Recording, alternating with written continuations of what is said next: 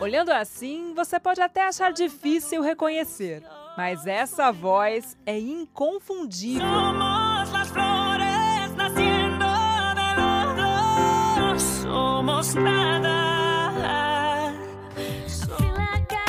Christina Aguilera já vendeu 75 milhões de álbuns ao redor do mundo.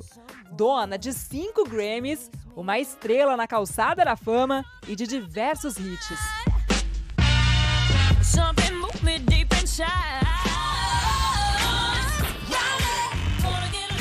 Uma cantora camaleônica.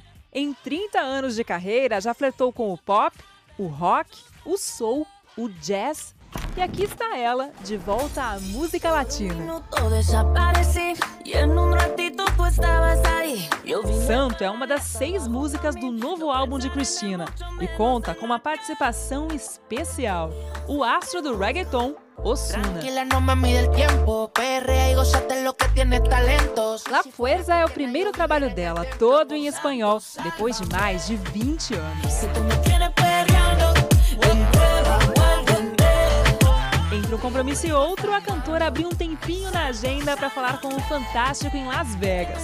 Em 2019 e 2020, ela fez uma temporada de shows fixos por aqui.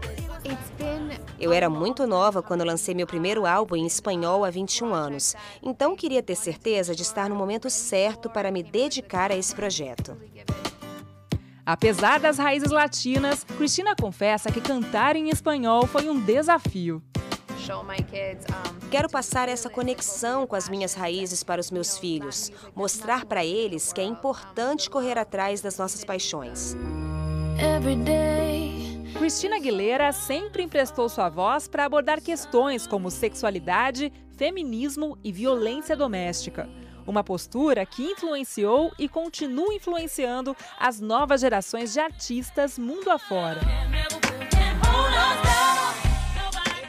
Eu acho que é importante fazer com que as pessoas se mexam, pensem, ultrapassem seus limites, desafiem suas ideias, seja para falar sobre sexualidade, saúde mental ou o que for. E por falar em influências, pergunto se ela já buscou inspiração em algum talento brasileiro. uh, well I know about Anita Eu conheço a Anitta. Eu amo artistas inovadores que não têm medo de críticas e se impõem para se expressarem livremente como artistas.